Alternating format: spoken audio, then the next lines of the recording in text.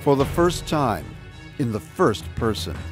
From the man who was there from the very first day, prosecutor Juan Martinez tells his story of putting a notorious murderer behind bars for life. What was it like to face Jodi Arias in court? The public trials, the private moments. One book has it all Conviction, the untold story of putting Jodi Arias behind bars. On sale now in bookstores and on your e readers.